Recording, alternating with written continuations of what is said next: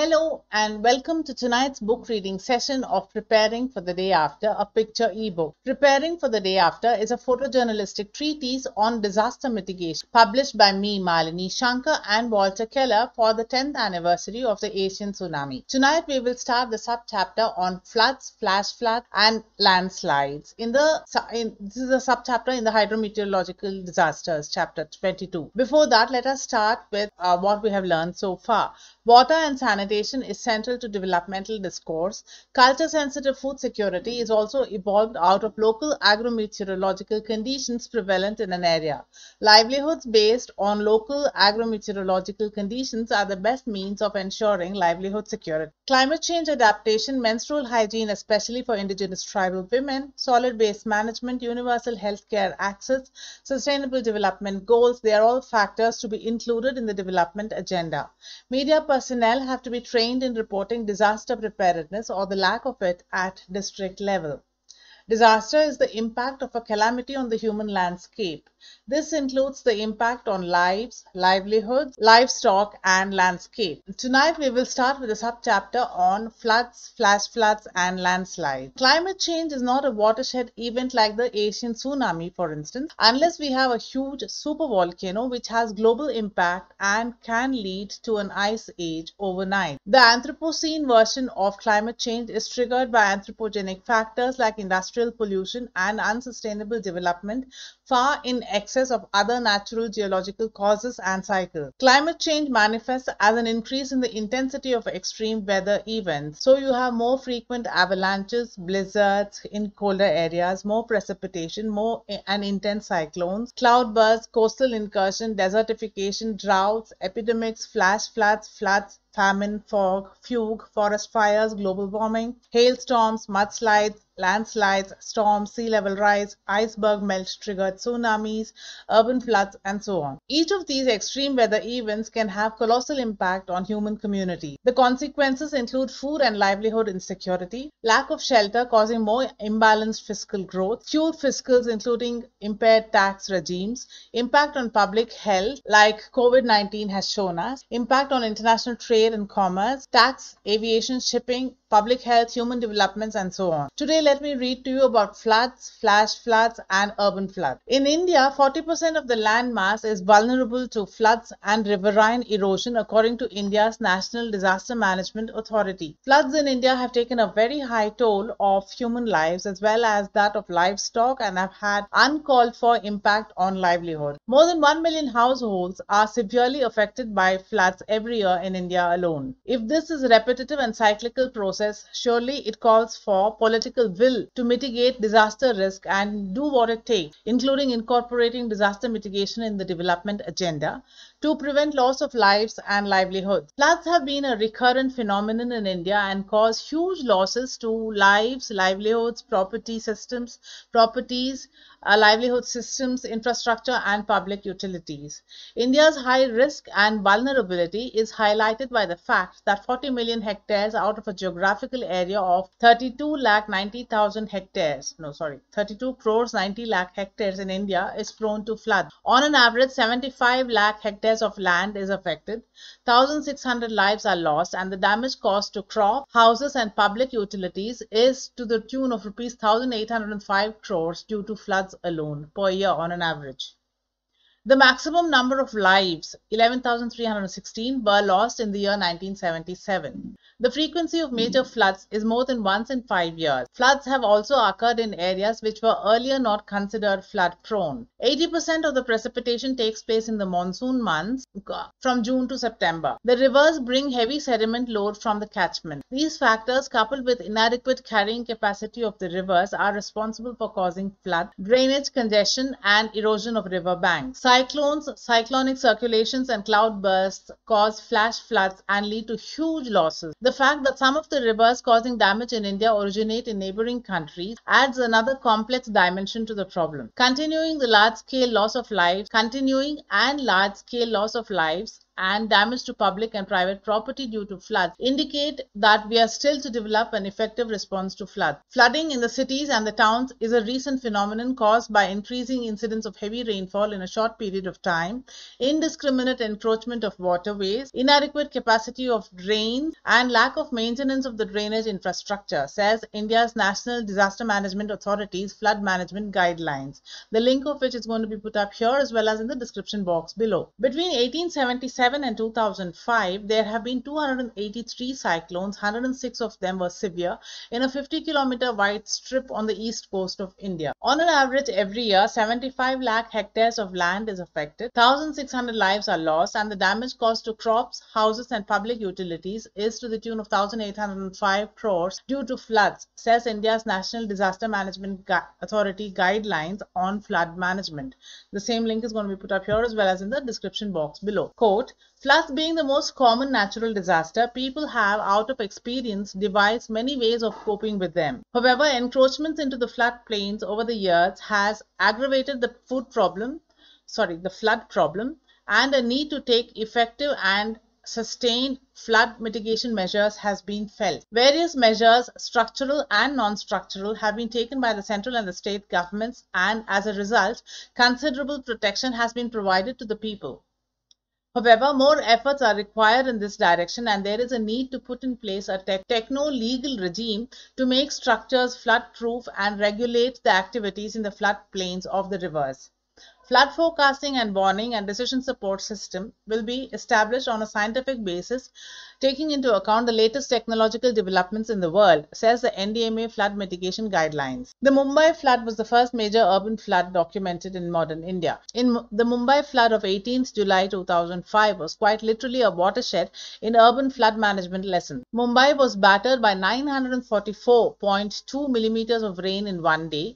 The busy metropolis came to a standstill with trains and vehicles stranded on roads, buildings were collapsing, the town of Thane, Nanded, the towns of Thane, Nanded, Parbhani, Raigad and Ratnagiri were underwater. In Mumbai, water levels rose rapidly within three hours, submerging the roads and railway tracks. The traffic was completely immobilized. All the low-lying areas in the city were heavily flooded. The poor who lived in juggies or thatched huts in these areas were the worst victims. It also hit the middle and the upper class segments. All the ground floor flats were underwater and the people lost all their possessions electronic goods, furniture, clothes, and utensils. Flooding crippled the basic services and lifelines in the city. There was uh, there was no electricity in Mumbai suburban and Thane districts.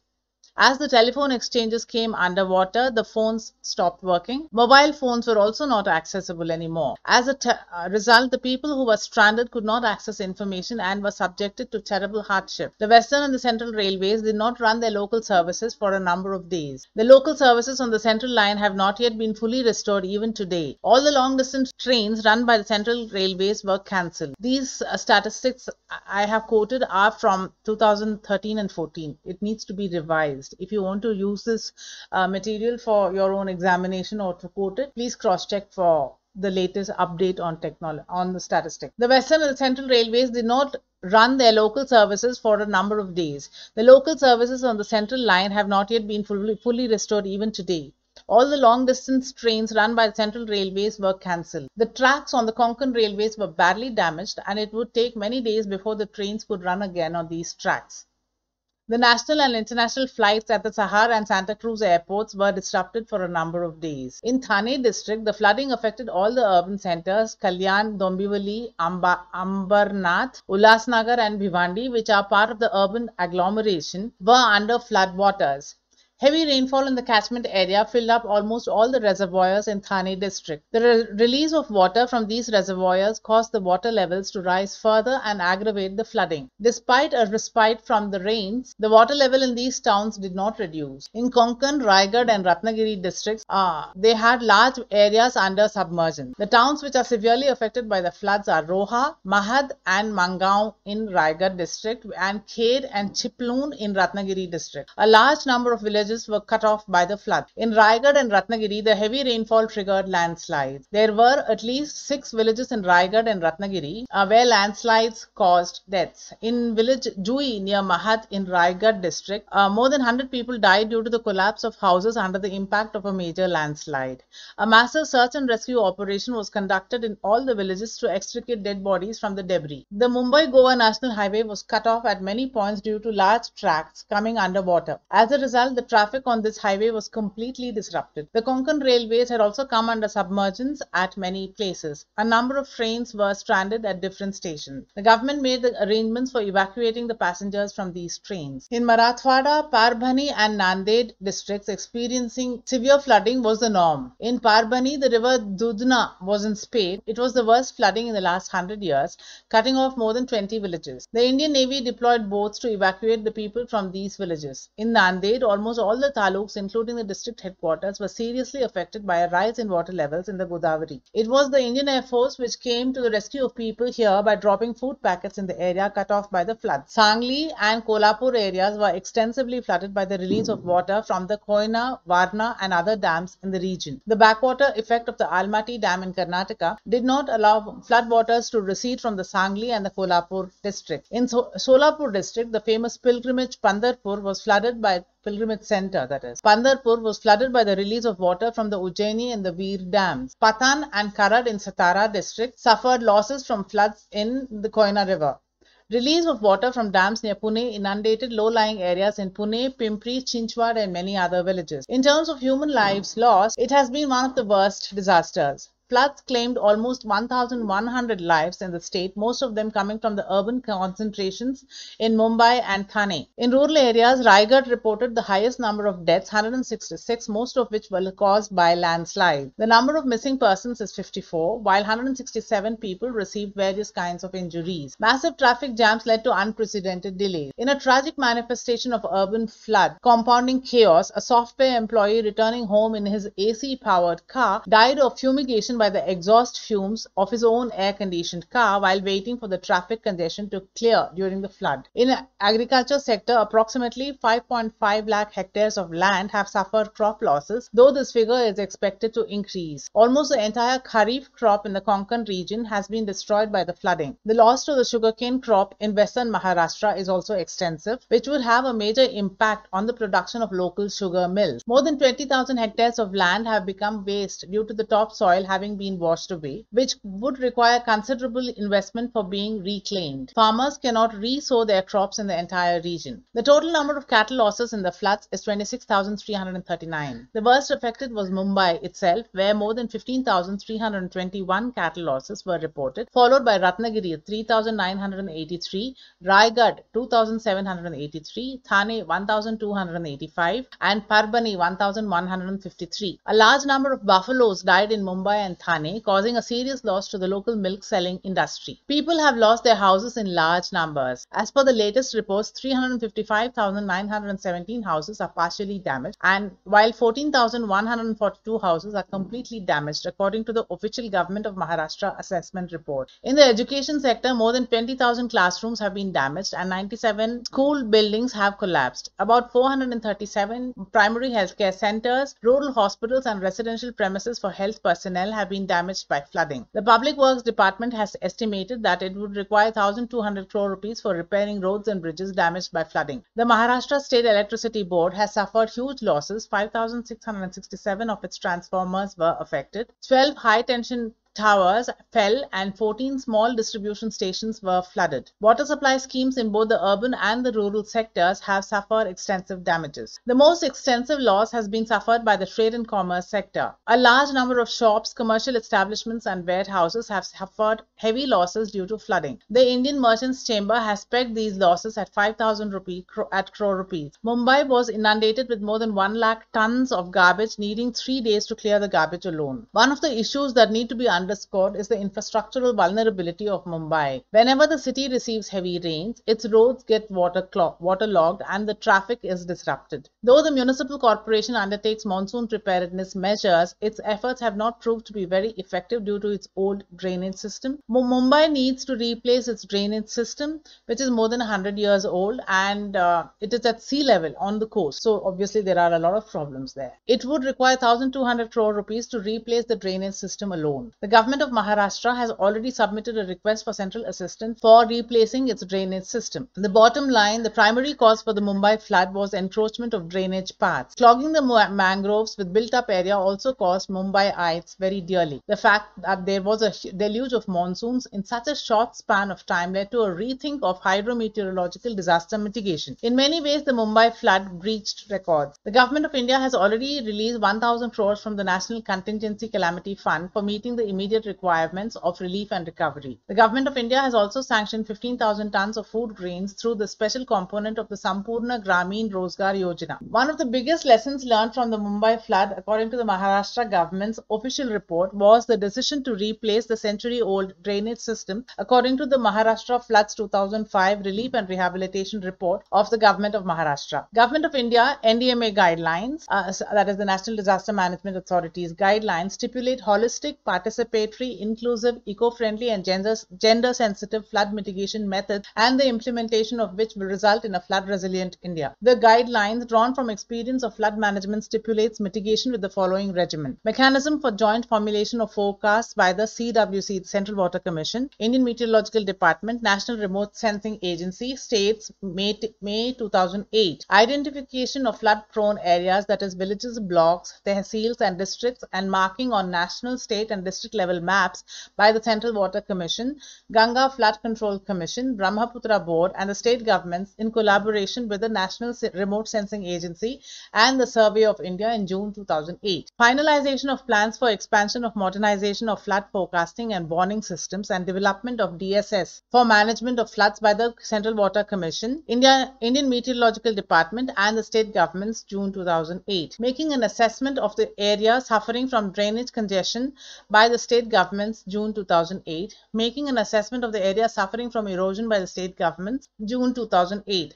Categorization of flood disaster by National Disaster Management Authority and the State Disaster Management Authorities June 2008. Introduction of module on financial management in education in schools, technical institutions, defense forces, academies, administrative training institutes, etc. by the Ministry of Human Resources Development, Ministry of Defense, Ministry of Home Affairs, state governments, state disaster management authorities June 2008. Documentation of floods by the state governments June 2008.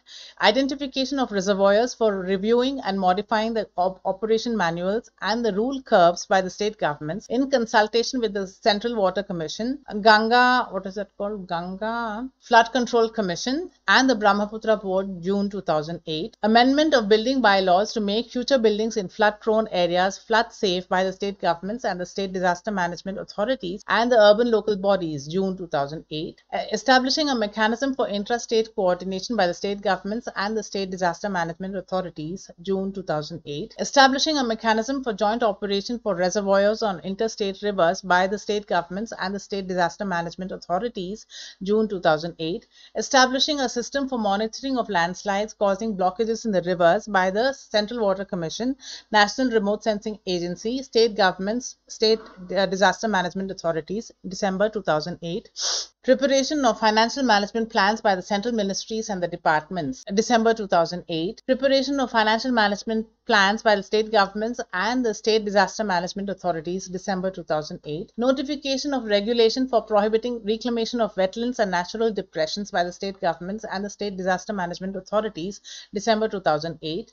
Carrying out special studies on problems of erosion on the rivers Brahmaputra, Mahananda, Gandak, by the National Disaster Management Authority in collaboration with the state governments and the Central Water Commission, Ganga Flood Control Commission, Brahmaputra Board, March 2009. Approval and beginning of implementation of National Flood Mitigation Project by the National Disaster Management Authorities and the state governments, March 2009. Construction of flood shelters by the state governments and the state disaster management authorities, March 2009.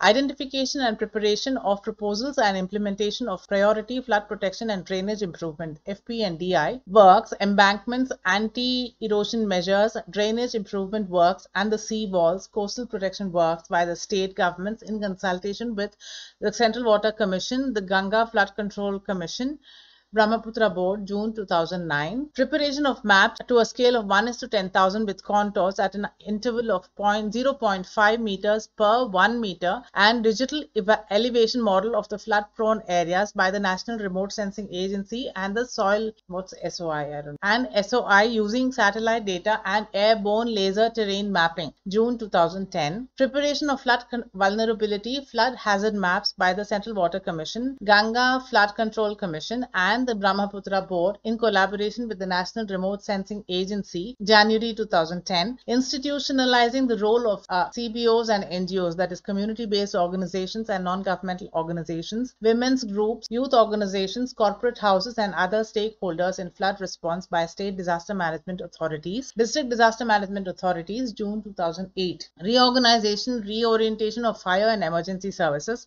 police forces, civil defense organizations, home guards for flood flood response by the state disaster management authorities and the district disaster management authorities, June 2008, raising and operationalizing state disaster response forces by the state disaster management authorities, June 2008, strengthening or restructuring of the Ganga Flood Control Commission by the Ministry of Water Resources, September 2008, strengthening and restructuring of the Brahmaputra Board by the Ministry of Water Resources, September 2008, enactment and enforcement of the floodplain zoning regulation by the state government's December 2008, developing integrated water resources management models for interstate rivers by the state governments March 2009, establishing a system for forecasting of flash floods by the Indian Meteorological Department September 2009, developing basin-wise uh, integrated watershed management models for interstate rivers by the sorry it's not interstate inter integrated watershed management. Let me repeat this. Developing basin wise integrated water river management models for interstate rivers by the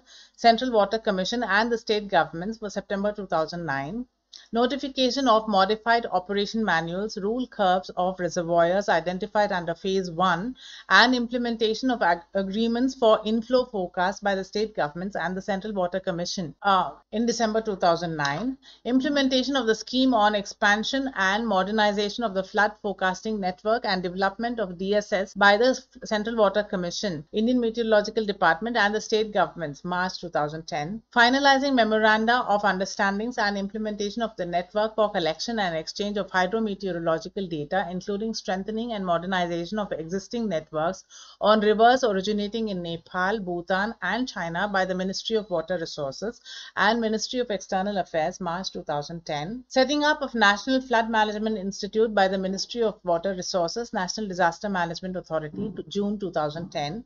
Examining adequacy and, if required, increasing the waterways of bridges, culverts under roads, and railways embankments by the Ministry of Shipping, Road Transport and Highways, Ministry of Railways, Ministry of Defence, National Highways Authority of India, Border Roads Organization and the state governments, June 2010. Studies and consultations and finalization of the proposal for flood insurance by the Ministry of Water Resources in collaboration with the Ministry of Finance, insurance companies and state governments and implementation of a pilot project December 2008 and on large scale June 2010.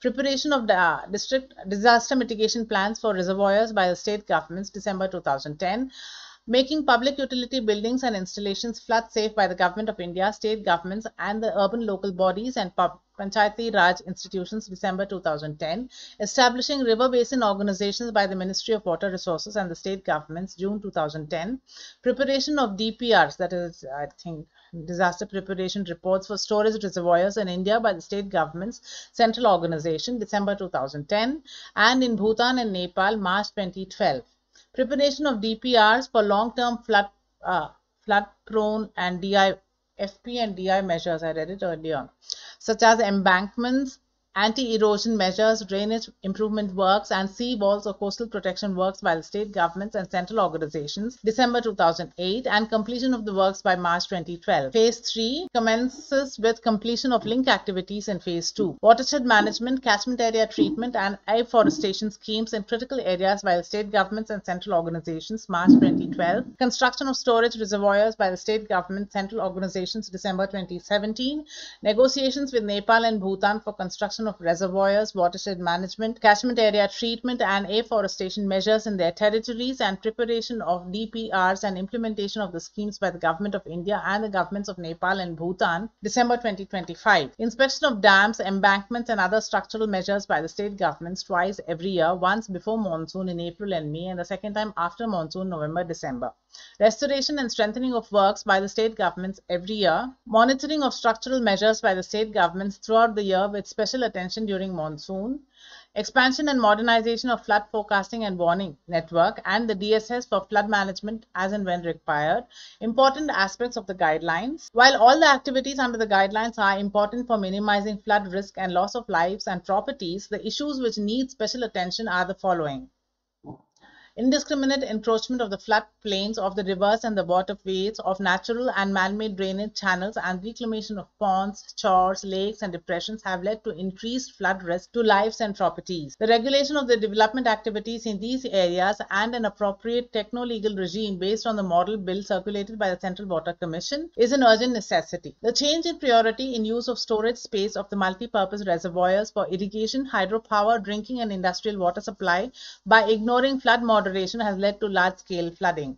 The operation manuals and the rule curves of all the reservoirs will be reviewed and modified to give priority to flood moderation. Flood forecasting and warning is a non-structural measure which aims at minimizing losses and enabling the agencies concerned to plan rescue and relief measures. The efforts of the uh, Central Water Commission, uh, Indian Meteorological Department, National Remote Sensing Agency and the state governments will be integrated and a mechanism developed wherein during the monsoon, the representatives of all these organizations and the basin states work together in formulation and dissemination of reliable forecasts and warning. The national vision is to minimize the vulnerability to floods and the consequent loss of lives, livelihood systems, property and damage to infrastructure and the public utilities and to build a safer India by developing a holistic, proactive, multi-disaster and technology-driven strategy for disaster mitigation. This is to be achieved through a combination of preventive, mitigative and preparatory measures to generate a prompt and efficient response after the occurrence of flood. The entire process will focus on the community and will be sustained through the collective efforts of the government and the non-governmental organizations. The value of these guidelines will essentially be in the efficacy of the uh, flood mitigation plans that will consequently be made and implemented by the central ministries and the departments and state governments. The central government and the state governments will provide necessary resources, both financial and managerial, for creating adequate structures at all levels to make measures required to minimize risk and vulnerability to floods. Floods and famines have ravaged mankind from the time immemorial, and a vast store of knowledge and experience is available on handling these disasters. An attempt has been made in these guidelines to build on this precious heritage, while simultaneously factoring in the benefits of modern technology and scientific advantages, apart from emphasizing the value of concerted action and sustained efforts at mitigation. That is all for tonight. We have finished a subchapter on floods, flash floods, and and landslide. Landslides will come more as a uh, um, as a slideshow in the following weeks, and we have also finished floods, famine, and yeah, flash floods tonight. In the next week's reading, I will be reading about hailstorms. Until then, take care, stay home, stay safe, and keep smiling. Ciao.